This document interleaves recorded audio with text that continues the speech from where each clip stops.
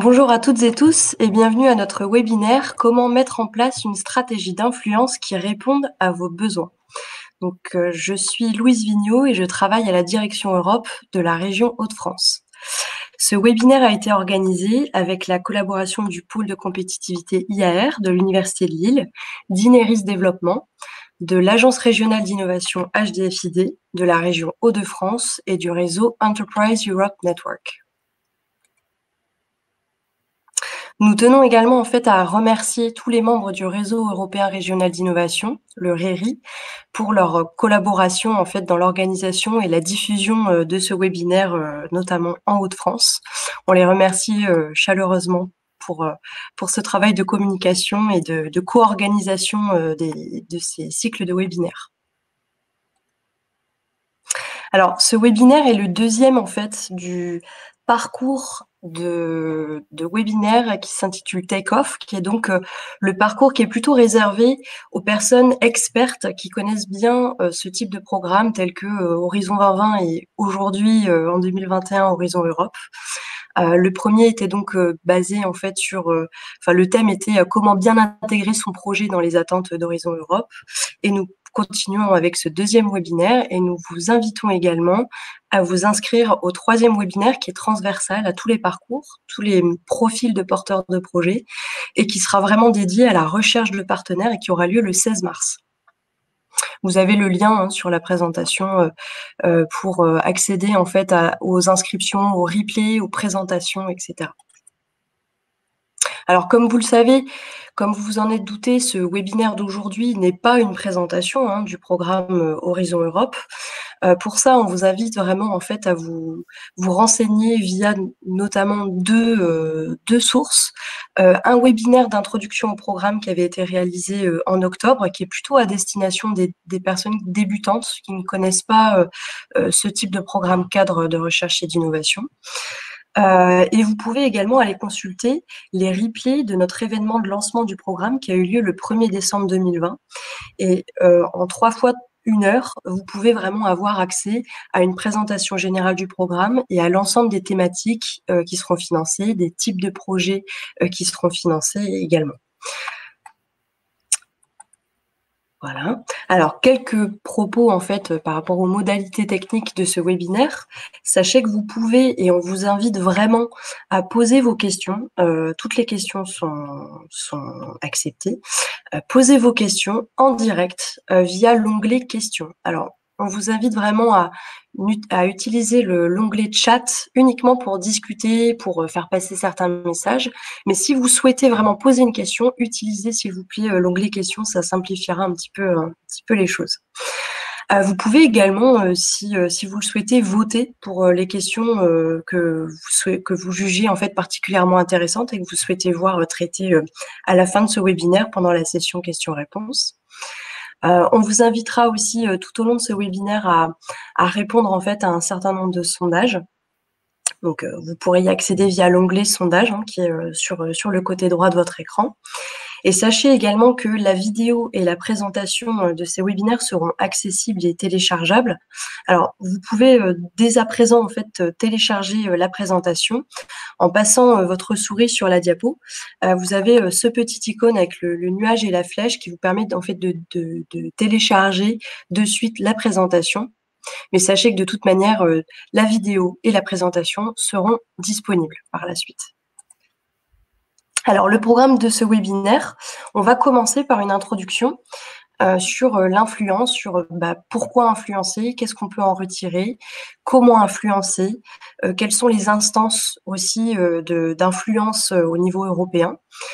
Euh, ensuite, dans un deuxième temps, nous aurons euh, le plaisir d'accueillir des spécialistes de l'influence euh, en Haute-France et qui pourront finalement partager leurs expériences avec nous lors d'une table ronde. Et à la fin, bien sûr, on réservera un moment pour les questions-réponses qui pourraient émaner de vous, notre public. Alors, je laisse tout de suite la parole à mon collègue Romain Waska pour cette première partie dédiée à la l'introduction en fait sur euh, l'influence et le lobbying. Merci beaucoup Louise. Bonjour à toutes et tous. Merci de votre participation. Donc, je me présente, je m'appelle Romain Waska, je suis chargé de mission recherche, innovation, développement économique au sein de la mission auprès de l'Union européenne de la région Hauts-de-France. Et donc, comme le disait Louise à l'instant, dans la première partie de ce webinaire, je vais essayer de vous apporter des clés de compréhension et des éléments de réponse à quelques questions qui sont, somme toute, assez simples. Euh, influence, en fait, de quoi, on, de quoi on parle, pourquoi faire de l'influence, comment faire et qui sont les acteurs clés euh, avec lesquels euh, travailler. L'idée, en fait, c'est avant tout de vous donner des conseils qui vous seront, euh, j'espère, utiles pour initier ou continuer une démarche d'influence à votre niveau ou dans, dans, votre organisation. Donc pour commencer cette session et pour éventuellement laisser un peu le temps, plus de temps à tout le monde de, de bien s'installer, je vous propose de répondre à un premier sondage donc, que vous pourrez retrouver directement dans l'onglet sondage sur la droite, comme le disait Louise. Donc, euh, la question, je vous la lis. Pour quelles raisons souhaitez-vous vous engager dans une démarche d'influence? Alors, évidemment, euh, donc euh, cinq choix possibles. plusieurs réponses sont valides, évidemment. ce qui nous intéresserait, voilà, c'est de, savoir laquelle vous correspond le plus. voilà, je vous laisse un peu de temps pour répondre. Voilà, qu'il y a déjà des premières, des premières réponses qui arrivent. Voilà, les premières. Voilà, ex pour l'instant, non, voilà, ça, ça, évolue en temps réel, donc c'est très bien. Voilà, donc on voit que c'est assez partagé en fait. Hein. vous pouvez voir, je pense, euh, les réponses euh, en même temps. Euh, c'est assez partagé, sauf sur la, proposition 2, qui était effectivement une sorte de, petit piège, si je peux me permettre.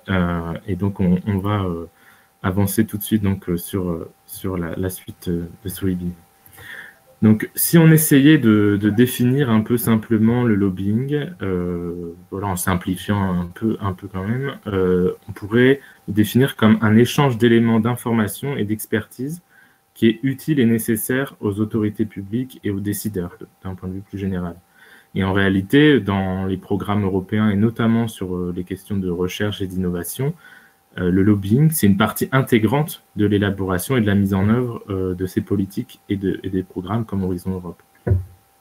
La Commission européenne, en plus, elle accueille très, favorablement ces retours de terrain parce qu'elle considère qu'ils contribuent à définir des politiques euh, publiques plus en phase avec la réalité et les besoins du terrain. Et dans la pratique, et on le verra plus en détail aussi dans la, dans la table ronde avec nos experts, on constate véritablement que l'influence, c'est un vecteur de la participation au programme européen de, recherche et d'innovation. Alors, une fois qu'on a dit ça, voilà, quel est l'enjeu? Les premières questions à se poser, en fait, c'est bah, voilà, tout simplement, est-ce que j'ai un message? Et quel est ce message, en fait? Et après, la, seconde étape, c'est comment le faire passer de la meilleure euh, manière possible. On peut ici un peu opérer une sorte de distinction entre deux types de lobbying un lobbying qu'on qualifierait euh, d'institutionnel et un lobbying plus euh, thématique. Euh, si je prends un exemple, voilà un exemple récent qui, concerne aussi la région de France, par exemple, avec la CPU, la conférence des présidents d'université et ses homologues européens, accompagnés d'autres régions européennes, on a milité collectivement pour un soutien plus fort aux écosystèmes territoriaux de recherche et d'innovation dans le cadre euh, d'Horizon Europe. Donc ça, c'était il y a quelques années, hein, l'époque de la préparation du programme.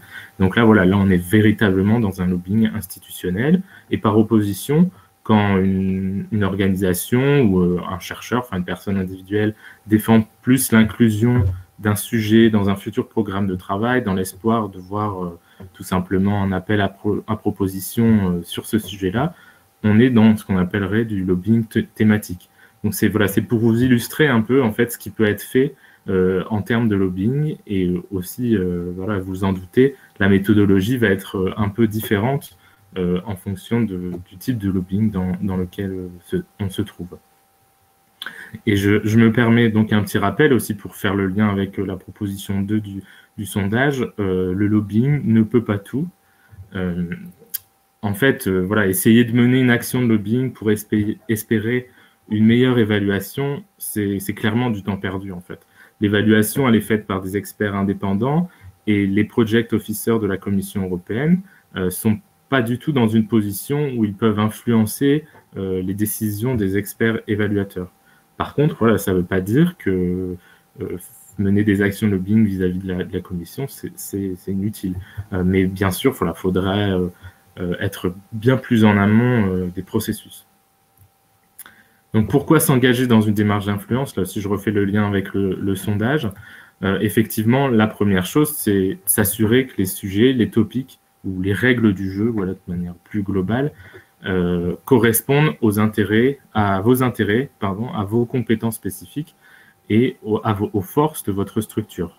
En effet, on a plus de chances de voir un, de nos propres projets financés quand on a directement contribué à l'élaboration et à la rédaction de l'appel à proposition correspondant. La deuxième raison, ça pourrait être justement pour nouer des alliances, des partenariats qui, ensuite mène à des collaborations fructueuses. Donc l'idée sous-jacente derrière, c'est qu'en fait, l'influence, elle peut vous permettre d'être dans ce qu'on appelle euh, les bons réseaux, en fait, et ensuite euh, les bons consortiums, c'est-à-dire ceux qui voient leur projet retenu et financé. Euh, la troisième raison, donc, c'est plus un enjeu d'attractivité internationale et donc de, mieux, de réussir à mieux intégrer votre organisation ou les acteurs que vous représentez dans le paysage de la recherche et de l'innovation au niveau européen. Et le quatrième, la quatrième raison, motivation principale, c'est bien évidemment l'enjeu financier et l'amélioration du, taux de succès euh, aux appels à proposition. En fait, l'idée aussi derrière ça, c'est que en s'engageant dans une démarche d'influence, on peut installer une sorte de cercle vertueux. En fait, on voit dans la pratique que influence et participation au programme se renforcent mutuellement. Plus on a de réussite dans les projets, et plus on est influent. Et voilà, à ce titre, euh, ceux, qui l'ont déjà été, par exemple, quand on est coordinateur d'un projet, ça apporte vraiment beaucoup de visibilité, à la fois vis-à-vis des institutions européennes, mais vis-à-vis aussi des autres partenaires euh, potentiels ou, même euh, concurrents. Comment influencer ensuite? Donc, pour préparer votre message, on doit d'abord essayer de, de, répondre à trois grandes catégories de questions. Donc, la première sur vos besoins, votre situation sur euh, l'analyse du contexte européen international et le positionnement des, autres acteurs. Euh, déjà, voilà, bien, bien essayer de définir dans la situation et les besoins euh, dans lesquels on se trouve, la situation dans laquelle on se trouve. Donc, en gros, quelles sont vos priorités thématiques en termes de recherche et d'innovation? Quels sont vos objectifs et quels sont les moyens que vous pouvez mettre en place pour arriver à ces objectifs? Après, voir en fonction de ça, comment euh, ça s'intègre en fait tout simplement dans le contexte européen international et quel lien ça fait avec les politiques européennes et les stratégies européennes euh, sectorielles aussi parfois si vous travaillez sur des sujets euh, bien précis. La commission a, quand même aussi beaucoup de stratégies en fait hein, c'est aussi, son rôle. Et donc comment votre expertise à ce, titre peut contribuer à la, à la résolution d'un objectif ou d'un défi global qui est posé dans, dans, ces stratégies. Et ensuite, bah, bien évidemment, le positionnement des autres acteurs et le, travail en, réseau. Le travail en réseau, c'est vraiment la clé euh, du lobbying. Hein. Pour un lobbying plus efficace, évidemment, il faut travailler sur la construction d'alliances et de partenariats avec euh, voilà, tout un ensemble d'acteurs qu'on verra euh, par la suite. Aussi, d'ailleurs, vos concurrents, en fait, pour voilà, tout simplement donner à la Commission et aux autres acteurs impliqués dans, ces processus euh, une vision déjà européenne. En fait, euh, vous pouvez, je pense, euh, facilement comprendre que notamment pour la Commission, c'est plus facile d'écouter, d'entendre et de reprendre à son compte une proposition qui, vient, entre guillemets, un peu en entonnoir euh, de, 27 États plutôt que 27 propositions différentes d'un seul État. C'est un peu une porte ouverte, mais euh, j'enfonce un peu une porte ouverte, mais je pense que c'est toujours utile, utile à rappeler. Euh, quels seraient un peu, après, les, critères d'un bon message? Donc, en lien avec ce que je disais à l'instant sur les priorités européennes, votre message doit aussi s'inscrire dans, un calendrier. Donc, euh, si on parle euh, voilà, d'influence des programmes de, travail, des appels à proposition, il y a un, calendrier bien précis. Euh, en général, voilà, faut s'y prendre entre un et deux ans à l'avance pour pouvoir effectuer quelque chose d'efficace. Et donc aussi, votre message doit apporter une expertise spécifique, j'ai envie de dire, euh, il doit être co-construit euh, avec des partenaires, et donc ça fait bien ce que je disais juste à l'instant, il doit démontrer d'une certaine valeur ajoutée européenne. Euh, l'idée, enfin l'impact supposé de votre idée doit aussi rapidement perceptible, démontrable et quantifiable. C'est-à-dire que au-delà de faire le lien avec les stratégies sectorielles que la commission peut, publier. vous devez aussi faire un certain lien avec voilà, des études précédentes, des projets précédents, des statistiques ou des, même souvent les, études prospectives qui sont menées par le JRC, donc le Joint Research Center, qui est le centre commun de recherche de la Commission européenne, peuvent être très utiles justement pour, pour positionner vos idées, vos messages par rapport à tout ça. Et sur la forme, donc euh, là je pense que vous, le savez aussi, mais je préfère le rappeler, nécessaire un peu de s'adapter au style d'écriture euh, européen et, bruxellois. Donc encore une fois, en renvoyant aux objectifs politiques de l'Union, aux différents euh, cadres stratégiques. Donc en ce moment, bah, voilà, les deux grandes priorités, c'est le Green Deal et la transition numérique, par exemple. Et dans, l'agencement et dans le style de rédaction aussi, pas hésiter à, recourir à certains mots-clés sur la transmission euh, du message. Donc, comment transmettre mon, message euh, Une fois que toutes ces étapes de préparation sont un peu finalisées, il faut, entre guillemets, développer un plan d'opération. Euh, se demander qui on va rencontrer, pour leur dire quoi et à quel moment. En fait, ça implique de vraiment bien préparer ces rendez-vous. Et enfin, j'aime bien utiliser cette expression, mais de faire ses devoirs, en fait, sur les personnes qu'on va rencontrer. C'est-à-dire essayer de se mettre à leur place, euh, de voir quels sont leurs intérêts et quels sont leurs rapports et leurs liens avec euh, le sujet ou le, enfin, voilà, le message, euh, l'idée que vous allez défendre, et essayer, dans la mesure du possible, encore une fois, de coordonner son action avec l'ensemble de ses partenaires. Toujours hein, selon la même idée que si un même message remonte par plusieurs canaux, il a tout simplement plus de chances d'être entendu et repris. Et donc voilà, ça me permet de, faire euh, la transition, tout trouver, vers euh, un panorama des, acteurs clés et qui sont mobilisables pour vous dire qu'effectivement, c'est une véritable constellation euh, d'acteurs mobilisables. Donc, il y a différents types d'acteurs, ce qu'on appelle les réseaux formels et informels, donc les groupes d'experts, les plateformes technologiques européennes, les différentes instances de, gouvernance des partenariats et toutes les associations européennes, les réseaux qui existent au niveau européen. Après, on trouve à côté de ça euh, les acteurs institutionnels, qui soient euh, régionaux, enfin français, nationaux ou euh, européens, donc le ministère, la commission, la CPU par exemple, ou, le CLORA, donc le club des organismes de recherche associés.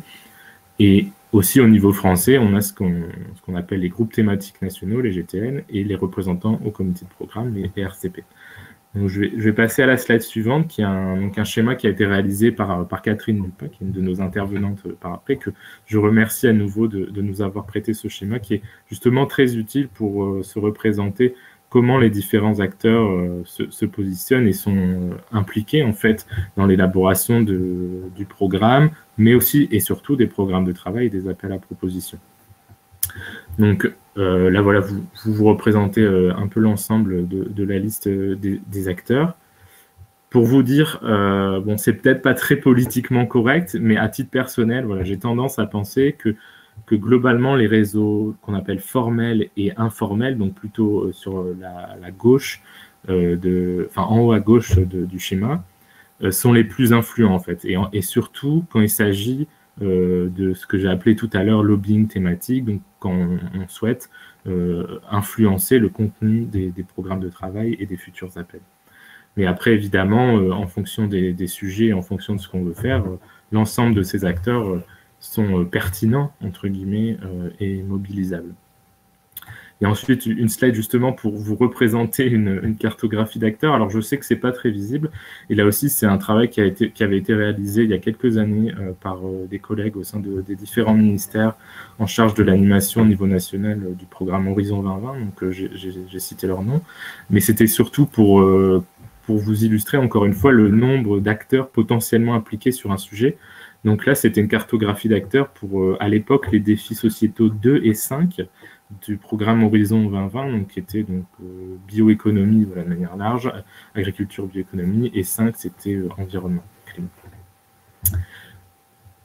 Voilà, et donc à la suite de cette courte présentation, je vous propose un second sondage pour vous demander en fait savoir si vous êtes actuellement impliqué dans les travaux de, de réseaux d'influence qu'on a évoqués. Donc euh, comme, tout à l'heure, hein, vous pouvez retrouver le sondage sur la droite de votre écran, enfin dans, le panel de droite. le panneau de droite. Voilà, je me permets d'ouvrir également.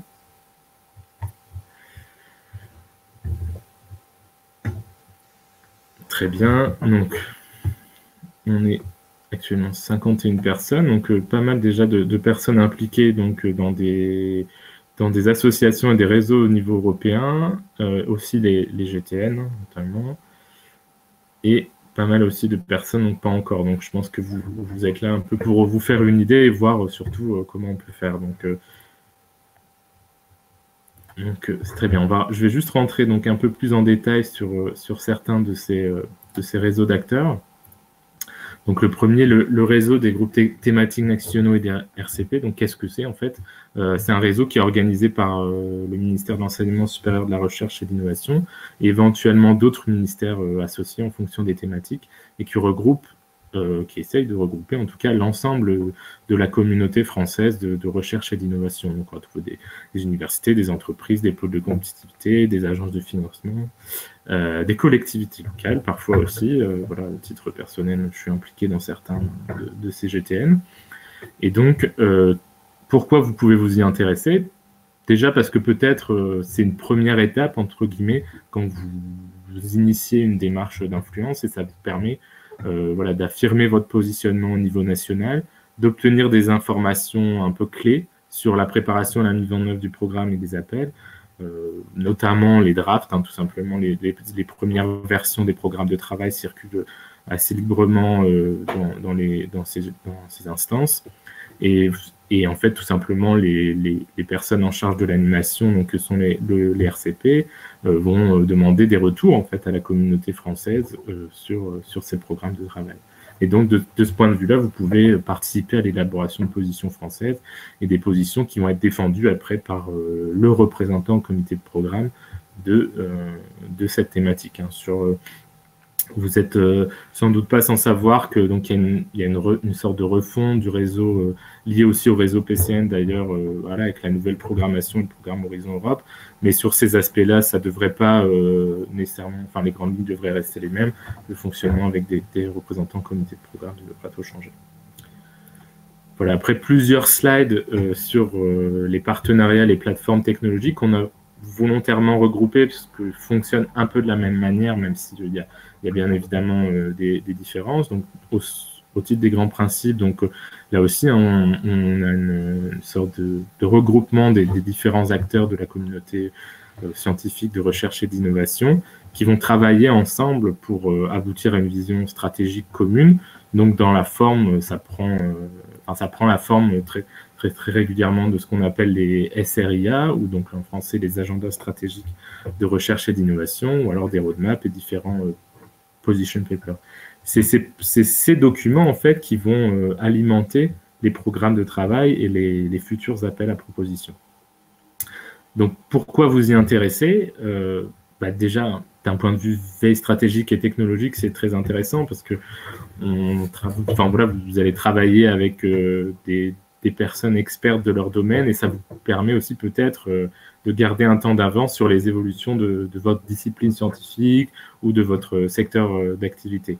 Et aussi, donc, deuxième raison, clairement, euh, c'est euh, pour, pour nous, pour moi, des, un des réseaux d'acteurs les plus influents sur, sur les, les, le les futurs appels à proposition. Et aussi en termes de, networking, c'est très intéressant parce qu'on on, y trouve souvent les, les experts du domaine, entre guillemets.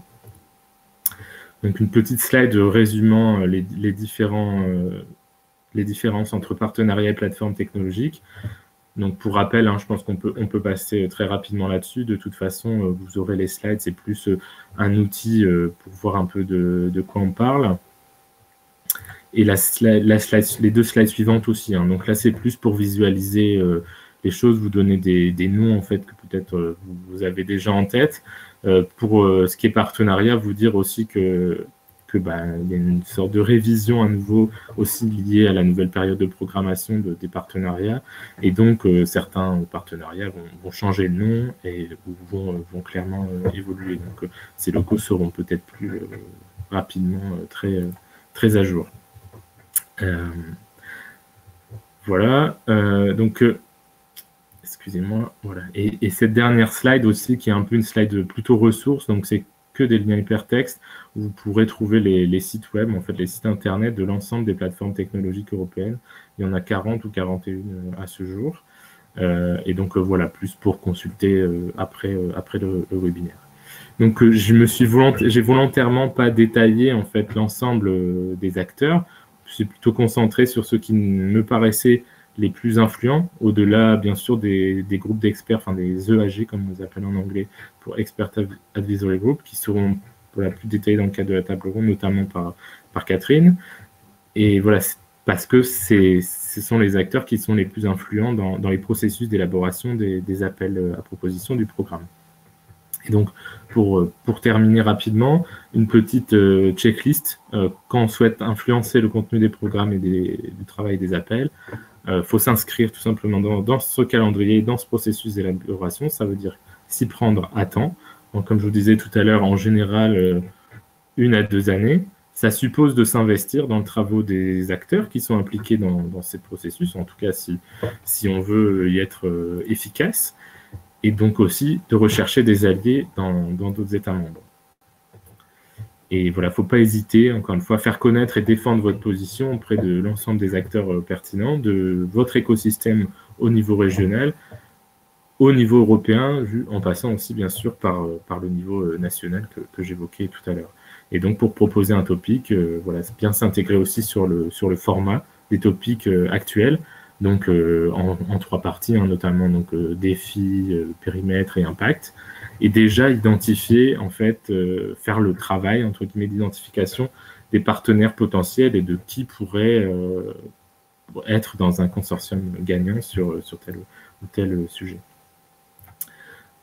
Pour, euh, pour, terminer donc sur ma partie, n'hésitez pas encore une fois à vous faire accompagner, que ce soit par vos référents Europe, dans, dans les structures membres du RERI, si vous en avez, me contacter directement, donc auprès de la mission de l'Union européenne, et également les bureaux de représentation que vous pouvez avoir euh, à Bruxelles. Donc là, évidemment, c'est peut-être plus pour euh, les académiques euh, qui, qui ont des, des, organisations qui sont représentées à Bruxelles. Mais c'est aussi parfois le cas pour, pour des grandes entreprises ou, ou des entreprises via, via des associations d'ailleurs ou d'autres réseaux. Juste, et voilà, là, juste pour terminer, effectivement, donc je travaille au sein de la mission auprès de l'Union européenne de la région, et donc cette direction de la région est vraiment conçue comme une interface entre le territoire et l'Union européenne. Donc je vous ai rappelé euh, en quelques lignes de, en quoi consiste notre travail euh, au quotidien, et vous dire que voilà, je suis à votre disposition pour vous accompagner euh, sur vos actions de lobbying et l'élaboration de, de, stratégies d'influence, mais aussi voilà, pour vous aider à coopérer, à vous mettre en relation avec les acteurs européens qui seraient pertinents pour vous, et éventuellement, même si c'est beaucoup moins euh, pertinent et nécessaire en ce moment, pour mettre à disposition nos, espaces de réunion au cœur du quartier européen. Donc, si vous avez notamment des réunions de consortium, des réunions de projet, peut-être qu'un jour on pourra euh, revenir à des réunions euh, en, physique. Donc voilà, je vous remercie et je, repasse tout de suite la parole à Louise. Merci beaucoup Romain pour euh, cette, euh, cette belle introduction qui permet de, de, bien planter le décor, notamment de, de notre table ronde que nous allons commencer euh, tout de suite. Et pour cela, j'ai le plaisir d'accueillir nos trois intervenants qui sont tous basés en Haute-France et qui sont, enfin, qui ont leur structure basée en France et qui sont vraiment euh, spécialistes de l'influence, chacun euh, à leur niveau avec leurs propres, euh, leurs propres expertises et qui vont pouvoir partager avec nous en fait leur retour d'expérience autour de ce sujet. Alors j'ai l'honneur d'accueillir Catherine Dupas, qui est chargée de mission valorisation économique et Europe à l'Université de Lille, Christophe Luguel, qui est directeur Europe du pôle de compétitivité IAR, ainsi qu'Olivier Salvi, qui est président d'Ineris Développement. Et je laisse tout de suite, sans plus attendre, la parole à Catherine Dupas, euh, qui va pouvoir, euh, chaque, chaque, intervenant va se présenter en quelques minutes et on passera ensuite à la table ronde. Merci beaucoup. Oui, euh, bonjour à toutes et à tous. ben, écoutez, bon, pour mon profil, j'ai un profil plutôt international et même européen, puisque j'ai, après ma thèse à l'Université de Lille, je suis partie deux ans et demi en postdoc en Allemagne, où j'ai appliqué mes connaissances en sciences des matériaux à la géophysique, astrophysique. Puis ensuite, j'ai changé complètement de, thématique de recherche et je suis arrivée en Belgique en tant qu'assistante de recherche pendant cinq ans. Puis ensuite, j'ai été chercheur CNRS contractuel. Et là, je me suis plutôt euh, intéressée aux biomatériaux avec euh, des applications euh, dans des domaines très différents, qui sont la neurologie, la cardiologie et l'électronique. en même temps, en revenant en France en tant que CNRS contractuel à l'Université de Lille, j'ai participé au montage d'un projet européen du 6e PCRD qui a été accepté et j'ai été Work Package Leader de, ce, de ce projet. Ensuite, euh, je suis, euh, j'ai euh, intégré la direction de la recherche de l'ex-université de Lille 1, où j'ai créé le, et j'ai été responsable du service ingénierie de projet de 2010 à 2017. Et durant cette période, j'ai été aussi experte évaluatrice NMP, donc N c'est nanomatériaux, M matériaux avancés et P système de production avancé. Ensuite, en 2013, j'ai été membre de l'advisory group de la Commission européenne euh, pour le programme H2020 et partie thématique NMBP de 2013 à 2017. Alors, euh, Louise m'a demandé quels étaient les, résultats significatifs euh, qu'on a obtenus grâce à ma participation, mais aussi grâce aussi à l'amélioration de mes collègues enseignants-chercheurs dans la réponse aux appels à projets. Donc, euh, on voit que de, 2010 à 2013, euh, notre euh, taux de succès a bien augmenté et notre nombre de projets financés a, aussi bien augmenté de 50%. Donc, dans la période en fait précédente du 7e PCRD, on avait un taux de succès qui était de 11%, qui était plutôt faible et même inférieur au taux de succès national qui était de 19%.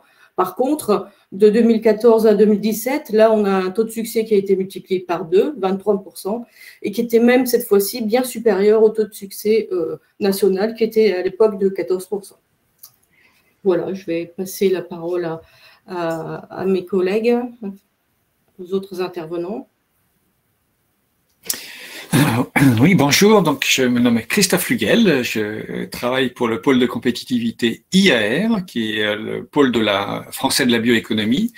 Après une petite vingtaine d'années dans, euh, en entreprise, dans des grands groupes ou euh, PME, et je suis en charge du développement européen du pôle IAR, c'est-à-dire quatre grandes missions l'influence, justement, euh, le, les réseaux européens, le montage des projets et le suivi de projets, puisqu'on est partenaire dans plusieurs projets européens. L'expérience de projet européen, enfin personnel, c'est que j'étais aussi coordinateur d'un projet de type CSA, qui veut dire Coordination and Support Action. Donc, c'est pas des projets de recherche, les CSA, c'est euh, je le qualifierais sous forme de caricature comme un groupe d'experts qui se prennent la tête sur un sujet donné pendant deux à trois ans pour faire des recommandations à la Commission européenne ou aux décideurs. Euh, C'était un, CSA sur les bioraffineries, sur les freins euh, et les, euh, au développement ou les euh, facilitateurs du développement des bioraffineries. Puis après, j'étais World Package Leader dans un, dans un autre CSA du, du FP7 euh, toujours sur le sur les bioraffineries et la et la bioéconomie.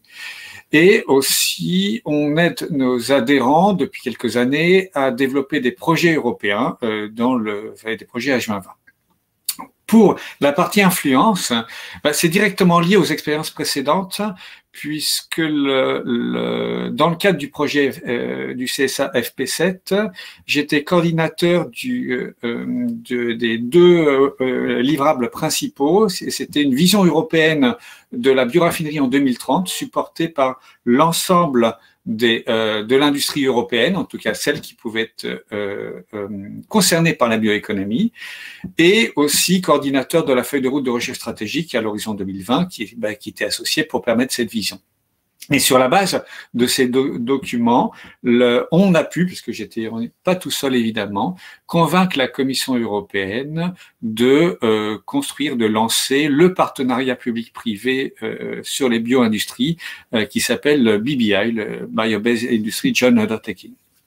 Le, et, euh, et comme donc grâce à ça j'ai pu être dans l'aventure dès le début et sur la, le bon adage j'y suis j'y reste ben, j'ai euh, participé à la construction du partenariat public-privé toutes les règles de fonctionnement les thématiques les orientations stratégiques et euh, j'ai été euh, membre du board de la du Biobase Industry Consortium, le BIC, qui est le partenariat, le partenaire privé de ce partenariat public-privé euh, depuis le début et vice-président depuis quatre ans.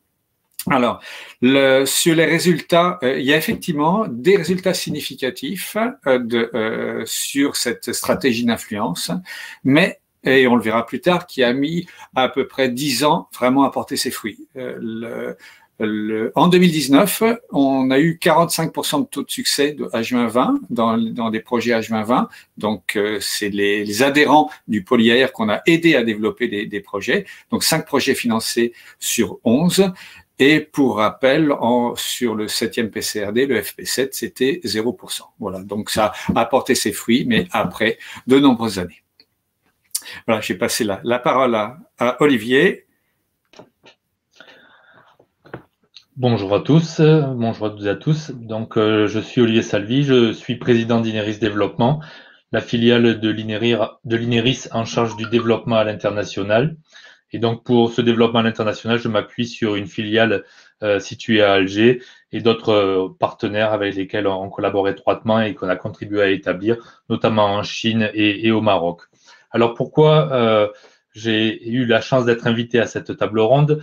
Euh, tout d'abord euh, parce que j'ai des expériences, je dirais, significatives dans le domaine du montage et de la coordination de projets européens. Effectivement, j'ai commencé avec euh, le, programme cadre de recherche et développement alors que c'était le cinquième programme cadre au début des années 2000. J'ai soumis mon premier projet.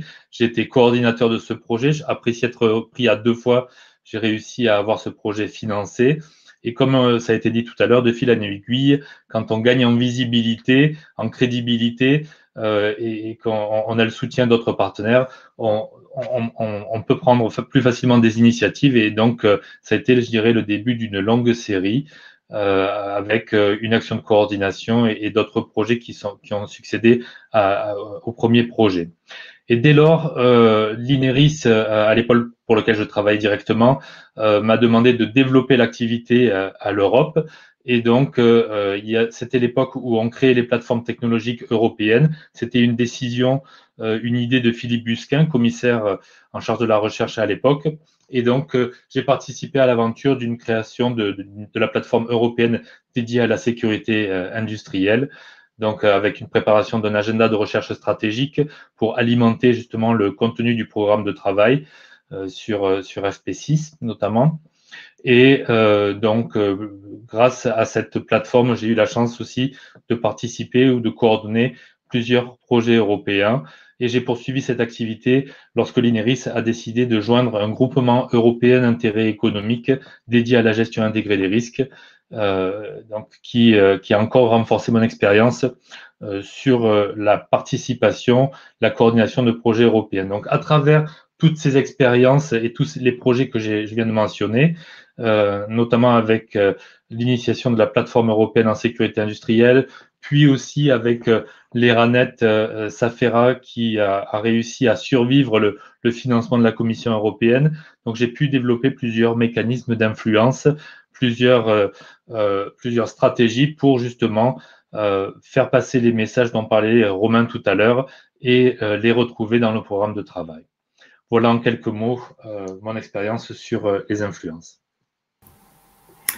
Merci beaucoup euh, à tous les trois et on va passer tout de suite donc aux, questions. Euh, par l'intermédiaire de, vos trois présentations respectives, on peut s'apercevoir que entre quelque sorte entre guillemets, vous êtes devenus des professionnels de, l'influence. Est-ce que du coup, vous pouvez répondre aux deux questions qui s'affichent? Quelles seraient selon vous les caractéristiques et le, profil type d'un influenceur efficace? Est-ce qu'il existe des prérequis ou des cases à cocher avant de se lancer dans, dans une démarche euh, d'influence Je vais peut-être laisser Catherine euh, commencer. Oui, alors, euh, je vais peut-être expliciter quel est le rôle de l'expert, euh, enfin de, des membres expert advisory group c'est en fait, euh, il y a eu, en fait, ça s'est passé comme ça. Il y a eu un appel à candidature en 2013 pour devenir membre d'un expert advisory group. J'ai postulé et euh, j'ai euh, été retenu malgré taux de succès qui était plutôt faible de 3%. Euh, ça a été une, grande opportunité en fait.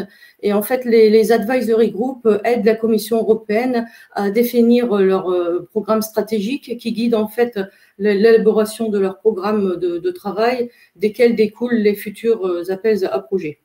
Donc en fait, pour être membre de l'advisory group, je pense qu'il y a deux caractéristiques communes que j'ai retrouvées chez les autres membres advisory group, c'est qu'en en fait, on a un profil, euh, la plupart d'entre nous avions des, profils non linéaires. Comme je t'ai expliqué précédemment, moi, en fait, j'ai changé assez drastiquement de thématique de recherche et puis j'ai changé de pays et en même temps, j'ai aussi euh, changé de, langue. Et puis, la deuxième caractéristique, c'est que la plupart des membres advisory group, on a été expert évaluateur avant.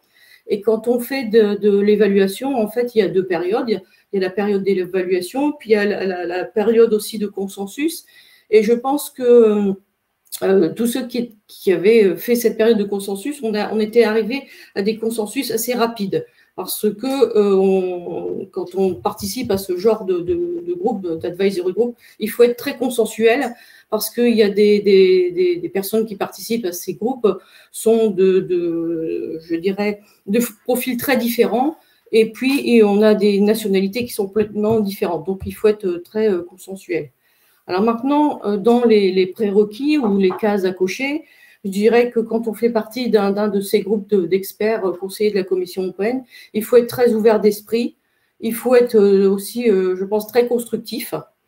Euh, il faut aussi ne pas avoir peur de, des questions qui sont posées par la Commission européenne, parce que je dois dire qu'au début, je me suis demandé comment j'allais répondre à ces questions, qui n'étaient pas aussi évidentes que ça. Et puis finalement, en y réfléchissant, ben, on finit par retrouver les réponses et, à donner des réponses à la Commission européenne. Il faut aussi, je pense, avoir une bonne vue euh, sur la thématique qu'on veut euh, porter et puis bien connaître aussi les, études prospectives. Et ça, Romain en avait parlé un petit peu euh, dans son speech avant, et en particulier les, études prospectives qui viennent du, du JRC, donc, du Joint Research Center. il faut aussi savoir donner des informations à la Commission européenne pour pouvoir en recevoir. Et puis, comme le disait aussi Romain, il faut savoir aussi euh, délivrer un message qui soit précis, concis. Surtout quand on est expert, on doit être précis, concis. On doit aussi pouvoir justifier le message qu'on veut délivrer. Et puis, il faut aussi le donner au bon moment. Donc ça, ce sont les prérequis. Et puis, je dirais aussi pour les, choses vraiment à éviter, c'est euh, les longs monologues. Alors, euh, je dirais que bavard et bavarde s'abstenir. parce que dans ce genre de, de rassemblement d'experts de, différentes nationalités, euh, les longs monologues ne sont pas bien vécus parce que euh, c'est vécu surtout pour euh, de l'intolérance. Donc bien délivrer son message au bon moment et de façon concise. Et puis, pour illustrer un peu mes propos, pour être précis et concis, je vais maintenant laisser la parole à Christophe et Olivier pour compléter mes propos. Voilà, à vous Christophe et Olivier. Alors, que dire pour compléter, parce que l'essentiel a été dit euh, par Catherine, peut-être qu'au-delà du sens du consensus aussi, puisqu'on parle de prérequis, euh, il faut que la personne, enfin l'influenceur, euh, soit un expert, certes, mais pas que. c'est-à-dire ne soit pas enfermé dans son domaine d'expertise et puis et, qu'il puisse être ouvert aux autres champs d'expertise des autres experts ou des gens qui ont un point de vue différent ou qui viennent d'horizons différents. et donc, euh, avoir voilà, suffisamment les capacités, euh, euh, la, culture pour comprendre le, message des autres et, le, le, point de vue des autres. Et parce que euh, enfin, je parle là sur, mon, expérience, c'est que la meilleure façon de faire passer, d'influencer euh, une feuille de route ou des décisions bah, des, décideurs, c'est de, euh, de, comme dit Catherine, si on, on veut donner de l'information, il faut recevoir de l'information euh, ou convaincre, mais il faut donner de l'information. Et pour donner l'information, et euh, je pense que le, le plus efficace quand on a un, un, c'est de comprendre le point de vue des autres en le reconceptualisant, c'est-à-dire en prenant du recul. Le, je, je, euh, bah, j'ai illustré par un exemple caricatural, hein, c'est mais parce que je l'ai vécu dans, dans, un, dans un, un, un, groupe de travail. Le, le si votre euh, euh, euh, euh votre but, votre mandat, c'est défendre la culture du châtaignier en moyenne montagne. C'est le, qui est euh, rien contre le châtaignier, au, au contraire, j'adore cette essence et je suis persuadé que le, la survie de, de, la, de la culture du châtaignier en moyenne montagne, en tout cas pour la France, est primordiale. Mais si vous, au cours d'une réunion de travail, vous répétez 15 fois le, le châtaignier, le châtaignier, le châtaignier, vous allez euh, euh, bah, difficilement convaincre vos collègues néerlandais ou danois pour qui euh, voilà le, le, euh, le, châtaignier est certes euh, un, un, objet d'admiration, mais pas un enjeu stratégique. Il vaut mieux à ce moment-là parler d'agroforesterie par exemple, euh, par exemple, de, et, et, et euh, d'offrir un cadre plus large dans lequel votre votre stratégie, votre but pourra s'y intégrer plus tard. C'est le modeste conseil que je pourrais donner. Olivier, je ne sais pas si tu veux rajouter. Oui, alors effectivement, comme, comme tu disais tout à l'heure, beaucoup de choses ont été dites.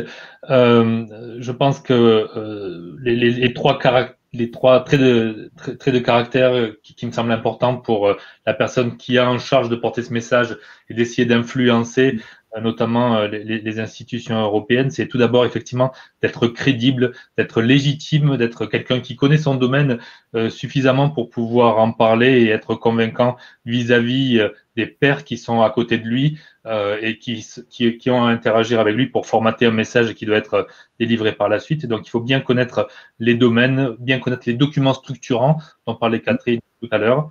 Euh, en deux, je mettrais effectivement que c'est quelqu'un qui doit être fédérateur, qui doit être euh, capable de, de, faire un consensus, des compromis, tout en gardant euh, en tête son objectif initial. Et donc pour cela, il y a le côté empathique qui me semble, important. Donc, euh, donc voilà en quelques mots un peu ma contribution, le, résumé sur les traits de caractère de, de l'influenceur efficace.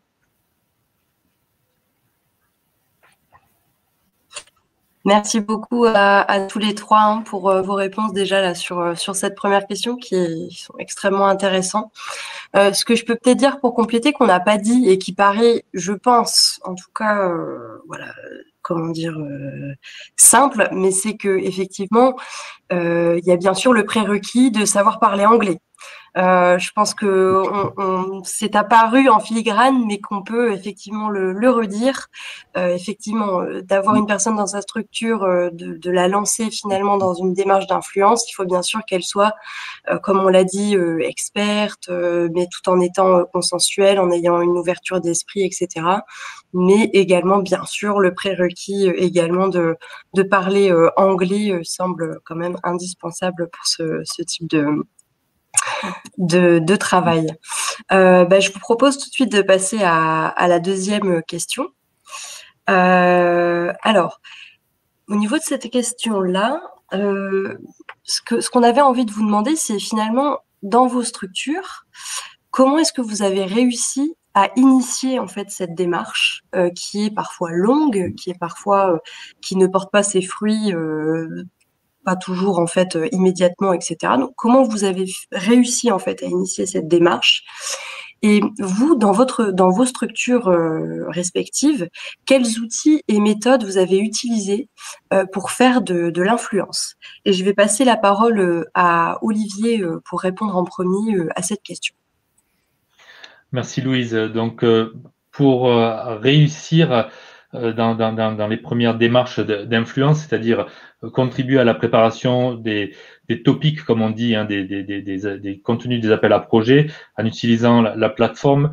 Euh, je pense que le facteur déterminant pour moi, ça a été d'être coordinateur d'un projet européen, d'une action de coordination, ce qui m'a donné de la visibilité. Et lorsque le, le, le, project officer en charge de la thématique qui m'intéressait, qui concernait la sécurité industrielle, a décidé de lancer une plateforme technologique sur ce sujet, ben, j'ai été contacté, j'ai été aussi invité à, à des réunions avec d'autres coordinateurs de projet, et c'est cette visibilité initiale, je pense, qui a été un, un facteur déterminant. Ensuite, en deux, je pense que euh, ce qui a permis d'avoir euh, certains succès dans les influences, c'est la volonté, la capacité et finalement être d'accord pour tenir le stylo, euh, préparer, écrire les textes mm. qui sont le fruit d'échanges avec avec ses, ses collègues d'autres organisations, d'autres instituts ou d'autres entreprises, et puis bien se positionner en amont. Voilà, il faut un bon timing, comme ça a été dit tout à l'heure. ça, c'est un facteur de réussite déterminant et euh, tourner vers l'institut que je représentais, c'était important d'avoir euh, aussi euh, un soutien, plusieurs personnes à, mes côtés qui suggéraient des idées, contribuaient aux, ateliers qui étaient organisés pour justement préparer les, les agendas de recherche stratégique. Donc voilà, en gros, c'est à la fois être prêt à, à, à, être, se mettre en avant pour pouvoir tenir le stylo, mais en ayant des assises un peu solides. C'est pour moi les facteurs de réussite. J'ai peut-être complété sur la sur la lancée d'Olivier parce que effectivement, je confirme, il y a plusieurs étapes. Et ce que disait Olivier dans la précédente intervention, c'est d'abord être crédible. Et pour ça, on a choisi euh, l'outil CSA, Coordination and Support Action. Et donc, euh, clairement, c'est le fait d'avoir été coordinateur du CSA, euh, qui s'appelait Bioraffinerie Review à l'époque, dans le sixième PCRD, qui a donné la légitimité de rentrer dans un consortium plus stratégique, celui du FP7. Et plus stratégique parce qu'il était avec cinq plateformes technologiques européennes, qui sont des organismes clés pour l'influence, euh, des futurs programmes. Pourquoi? Parce qu'ils sont à la croisée des chemins entre euh, donc leur but, leur mission est de fédérer une chaîne de valeur avec des enjeux stratégiques, scientifiques et industriels, avec tous les grands groupes et les sociétés leaders de cette chaîne de valeur et les instituts de recherche euh, euh, associés à cette chaîne de valeur qui travaillent ensemble pour donner une vision et une feuille de route de recherche stratégique qui pourrait éventuellement déboucher sur des futurs partenariats. Et donc c'est stratégique, ça avait été mis en place par M. Busquin à l'époque et ça toujours, c'est toujours euh, une importance clé. Et donc cette notoriété nous a permis de rentrer, de, rentrer dans, ce, dans avec cinq autres plateformes technologiques européennes euh, et euh, qui euh, a, permis de créer une vision commune et une feuille de, de recherche stratégique commune. Et c'est grâce à, euh, à cette, ce deuxième CSA, donc le CSA est un outil extrêmement performant, avec la, euh, la validation des ETP, donc tout le poids derrière, qu'on a pu convaincre la Commission européenne, euh, ce qui ont convaincu après, c'est les ETP forts de ces documents.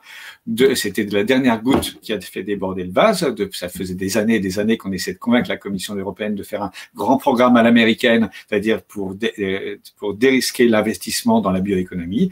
Et, et, euh, et euh, et ça faisait des années que la Commission européenne disait à chaque ETP, ayez une vision commune, quand vous aurez ça, nous en reparlerons. Euh, et la vision commune entre la chimie, l'agriculture, la forêt, euh, l'énergie, j'en passe des meilleurs. Et une fois qu'on a eu ça, en, en, trois mois, la Commission européenne a dit oh, OK, c'est banco, on met un milliard d'euros. Et donc ça, a ça euh, débouché sur le partenariat public-privé BBI de 3,7 milliards d'euros, un de la Commission et 2,7 de, de, de l'industrie. Et, et le, if, ça a l'air facile comme ça, mais c'est l'aspect chronophage de la chose. Le temps long et l'intensité. Hein, le temps long, c'est-à-dire qu'on a commencé en 2007, hein, le, le, premier, le premier CSA. Le BBI a démarré en 2014, donc sept ans. Et je vous disais dit, ça a porté ses fruits pour nous en 2018-2019, réellement. Donc vous voyez le pas, de, pas de temps. Et en plus, le, sur le CSA, le FP7, ça a pris 50% de mon temps. Et sur la période du montage de BBI, euh, sur 2012-2014, ça a pris 30, euh, un tiers de mon temps. et, donc, euh, il faut avoir ça à l'esprit quand on s'engage dans ce, dans, ce, dans, ce genre de démarche. C'est le temps long. Et en plus, pour rebondir sur une remarque d'Olivier qui est tout à fait pertinente, c'est le, le, pas de temps aussi. Il ne vous a pas échappé que les programmations européennes suivent une programmation, enfin un rythme de 7 ans. Et donc, c'est pas maintenant que vous allez euh, vous euh, commencer à euh, influencer Horizon Europe. C'est trop tard. C'est pour la c'est pour le programme suivant. Et donc, c'est le c'est démarrer environ quatre ans avant le début de la programmation européenne. C'est-à-dire pour la prochaine, ce sera 2023. Je vais peut-être embrayer et être peut-être un peu courte parce que l'heure tourne. Euh, en fait, euh, dans, lors de ma participation à l'advisory group, euh, j'ai pu voir de l'intérieur, en fait, avec la Commission européenne, comment celle-ci construisait son programme de travail. Donc, j'ai été dans l'advisory group quatre ans. Donc, comment elle construit son programme de travail, puis ensuite comment elle rédige ses appels à projets. On a pu aussi discuter de, de, de un peu des objectifs d'Horizon Europe. Et donc, euh, ce qui m'a permis de voir en étant avec la Commission européenne qui elle consultait euh, et euh, qui, enfin, qui, qui, étaient les acteurs les, les, plus influents et qui elle consultait pour rédiger ses stratégies et, et, programmes de travail. Et en fait, grâce à ça, j'ai pu aussi connaître qui étaient les meilleurs influents et puis au niveau de l'université, quand j'allais faire des séminaires dans les laboratoires, je pouvais donner aussi quels étaient les, réseaux et euh, les, partenariats publics-privés les plus influents dans lesquels les enseignants-chercheurs pouvaient euh, se, euh, essayer de, rentrer pour faire eux-mêmes du, du, lobbying. Donc voilà quel a été l'impact pour mon université en tout cas. Merci beaucoup. Merci Catherine. Bah, ça permet justement de, faire le lien tout de suite avec euh, la troisième et enfin les troisième et dernières questions, donc euh, qui sont plutôt relatives euh, à l'impact. En fait, comment vos activités d'influence se sont concrètement répercutées? Donc, on a déjà eu quelques petits éléments en termes de nombre de projets remportés, etc. Mais ça peut être aussi intéressant, je pense, pour les participants de, de savoir ce que ça a pu vous apporter d'un point de vue peut-être plus personnel sur votre parcours et au sein de, de vos structures, au-delà voilà, de, la visibilité qu'on mentionne sur la slide.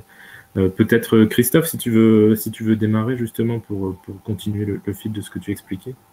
Oui, oui, j'en avais déjà touché deux, trois mots euh, lors de la présentation de la slide. Euh, et, effectivement, on a pu, euh, augmenter notre taux de succès dans les projets européens, bon, ce qui n'était pas difficile puisqu'on était à 0%, laissé euh, sur le FP7. Et, et, et, on a eu un, enfin, voilà, double en, en, quantité, enfin double augmentation en quantité et en, et, et en qualité. Je, je, citais en 2019 les, les, euh, les 11 projets déposés, tous enfin, euh, dont euh, tous coordonnés par des adhérents IAR et 5 qui ont été, qui ont été financés. Bon, sur les 15, 5, il y avait 4 BBI, ça, ça vous, vous, vous a pas échappé.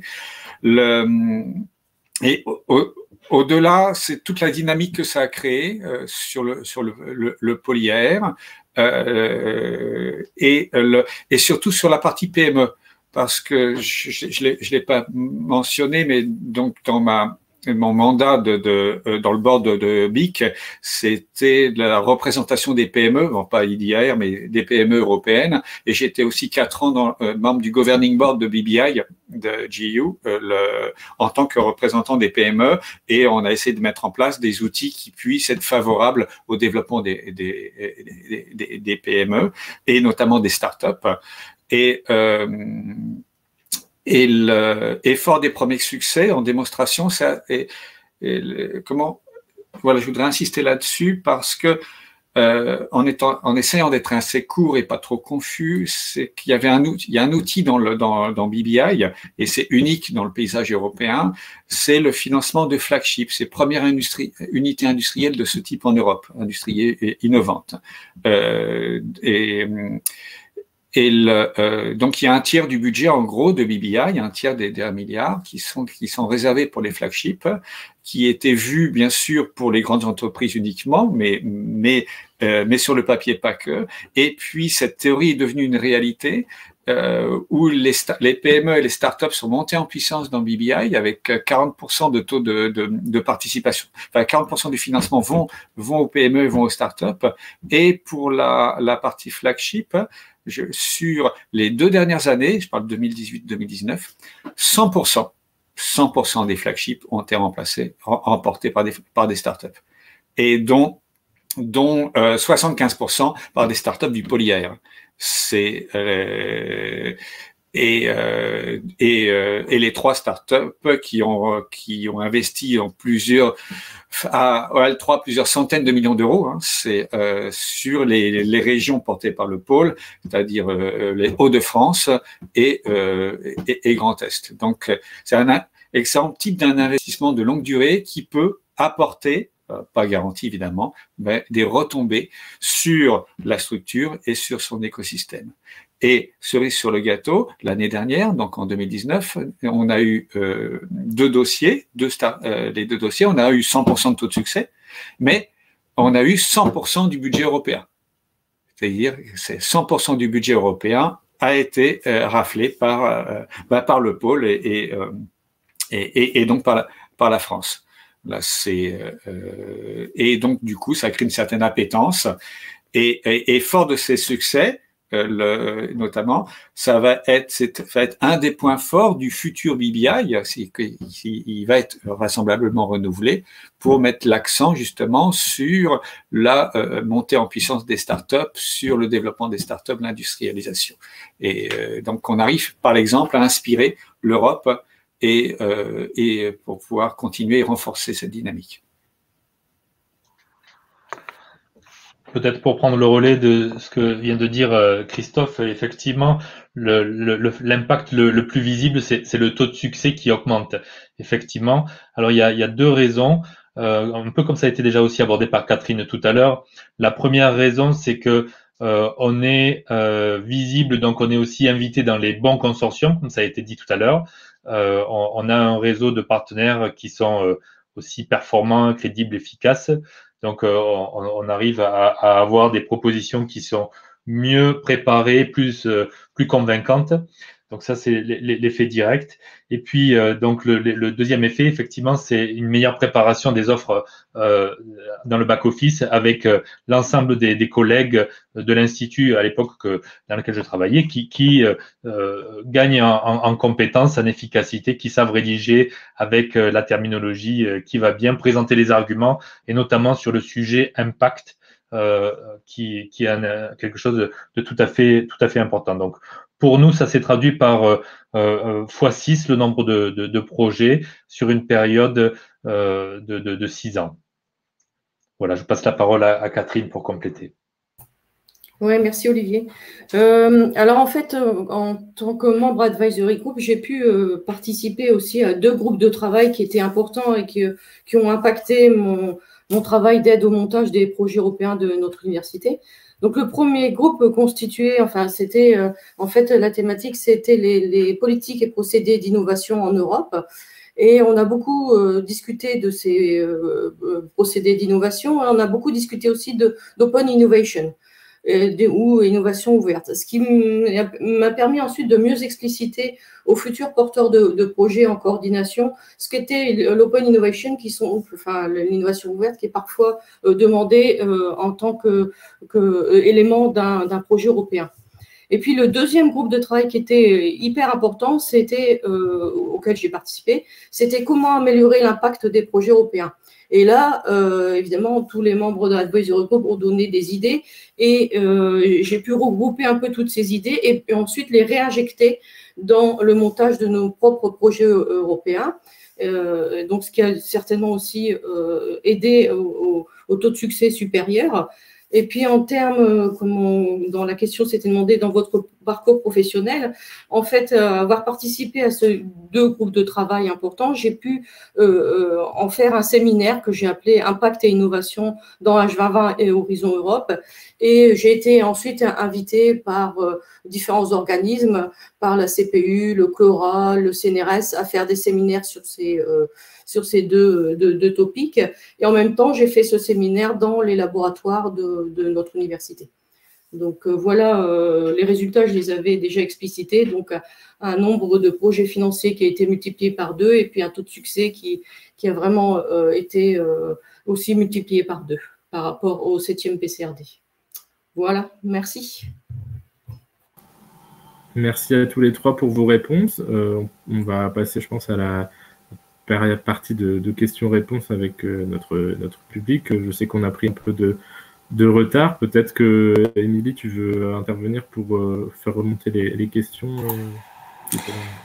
Oui, bonjour à tous. Émilie Marcelet, HDFID. Donc effectivement, on a eu, on a quelques questions dans, le, dans, la rubrique questions.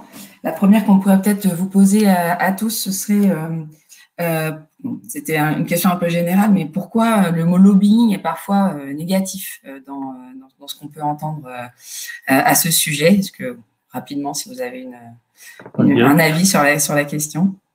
C'est surtout en France, en fait, je trouve que cette vision euh, apparaît parce que dans d'autres pays, le lobby, c'est tout à fait naturel. C'est un moyen de faire entendre ses positions. En France, c'est effectivement, c'est connoté comme euh, avoir des mauvaises intentions et aller à l'encontre de, ou influencer avec des mauvaises intentions souvent, alors que alors que c'est pas le cas chez, nos, voisins.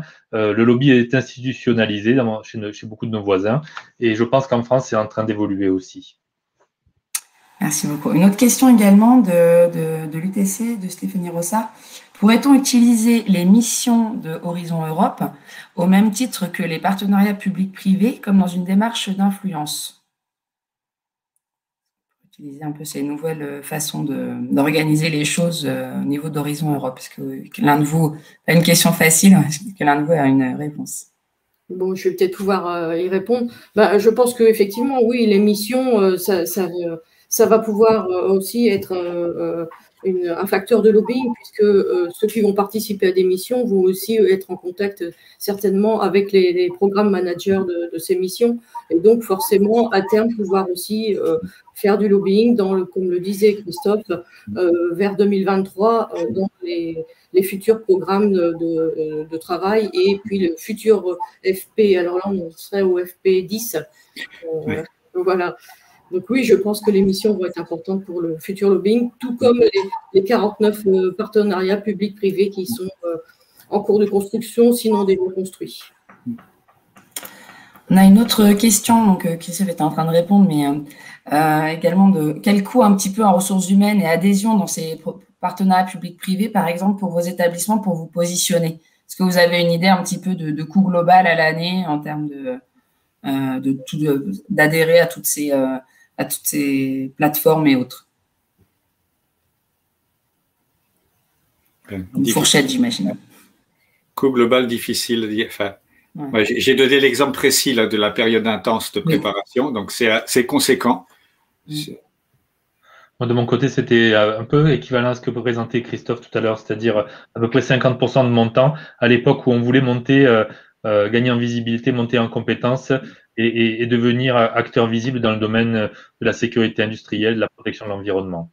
Donc c'était à peu près 50% d'un jeune ingénieur euh, qui euh, voilà, se, se, déplaçait à Bruxelles régulièrement aussi et puis euh, fonctionner en, en, lié, en réseau avec, avec les autres partenaires. Et ça a beaucoup de répercussions ensuite sur les autres activités, sur la préparation des projets et pas, pas simplement au niveau européen, aussi au niveau national, ANR, FUI ou autre. Euh, bah, quant à moi, c'est quand même moins que ça. Je pense que c'était moins de 5% de mon temps que j'ai passé pour euh, ces activités d'advisory group. Euh, en fait, on était consulté, la Commission européenne nous envoyait des questions écrites, donc on pouvait répondre de, son bureau à ces questions écrites qui n'étaient pas toujours évidentes d'ailleurs. Et puis, on avait quatre réunions par an. et ça, donc, pendant quatre ans, donc j'ai eu 16 réunions avec la Commission européenne en directement une journée pour, pour discuter des des thématiques qui, ou des questions qui étaient soulevées par la Commission européenne. Donc, euh, ça n'a pas été énormément, autant aussi euh, time consuming que euh, Olivier et Christophe. Sinon, c'est à peu près la, plupart des questions que nous avons eues, parce qu'après, c'est la dernière d'Hélène Bailly concerne vraiment sur la partie impact des projets, donc on va peut-être pas changer de sujet parce qu'on est déjà un petit peu hors timing. Donc je vais laisser Romain conclure et, et récapituler un petit peu tout ce qu'on s'est dit euh, ce matin. Merci. Merci. Merci à tous euh, pour vos, réponses euh, voilà, très inspirantes aussi et puis qui aident, je pense, les, les uns et les autres à, se projeter éventuellement dans, ces démarches. pour voilà, quelques petits messages clés et conseils pour un peu. Excuse-moi, j'ai cliqué en même temps. pour, pour conclure sur, sur ce, webinaire. Alors, excusez-moi. Voilà. donc, si on devait euh, résumer, euh, premier conseil, essayer de savoir ce que l'on veut de, ces projets, ce qu'on attend, être assez clair sur ses ambitions, ses attendus, se mettre d'accord avec sa hiérarchie, c'est pas toujours le plus évident, mais il faut, vraiment le faire, à la fois sur les attendus, sur le, temps que ça prend. Hein, quand on voit Christophe ou Olivier qui, qui évoquent 50% de leur temps de travail, évidemment qu'il faut avoir, faut avoir ça bien en tête être expert dans son domaine, c'est quand même mieux, et être conscient surtout de l'expertise spécifique qu'on peut apporter. Et c'est pour ça que voilà, devenir expert évaluateur, ça peut être aussi une première piste, une première euh, option à, investiguer euh, pour voir un peu de l'intérieur comment ça se passe. Euh, on l'a dit à plusieurs reprises, amener de l'information pour en recevoir, aimer travailler dans un contexte européen international et travailler en réseau avec un large panel d'acteurs et voilà, sur des critères plus euh, personnels, s'armer de, courage, de patience, de, détermination et d'ouverture d'esprit. Euh, c'est sur ces mots qu'on va clôturer euh, ce, webinaire. vous retrouvez ici nos contacts, nos coordonnées, pardon, si vous souhaitez nous contacter ou poser des questions peut-être plus précises. Et vous pourrez aussi trouver donc dans les dans les deux dernières slides des, outils en fait ont été développés dans, le cadre de ces parcours de formation et, autres, euh, notamment euh, l'ensemble des replays des webinaires euh, Horizon Europe, le guide des accompagnements en région et le guide de, montage de projets fait en collaboration avec la CI. Et aussi, donc pour ceux que ça intéresse, sur la dernière slide, je pense qu'il y a les différents success stories, enfin témoignages qu'on a, qu'on a travaillé avec différents acteurs et membres du RERI. Je vous remercie toutes et tous. Merci à nos intervenants. Merci à, Louise et Émilie aussi pour, pour l'aide dans, la préparation et l'animation de ce webinaire. Et je vous dis donc euh, bah, à très bientôt. Je vous souhaite une très bonne journée. Au revoir. Merci à tous. Au revoir. Au revoir. Merci. Au revoir. Au revoir.